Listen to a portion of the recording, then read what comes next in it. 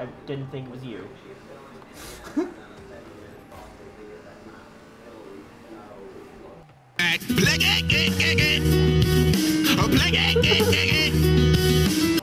You were accidentally adopted. They wanted to adopt a highway, but your face looked so similar they got confused.